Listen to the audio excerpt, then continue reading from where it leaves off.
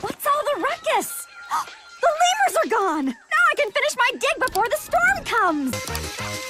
so yeah, I'm glad we decided to play with something that Hissy wanted to play with this time. Aw, thanks. We finished digging up that ancient clay pot for the museum right before the rain could wash it away.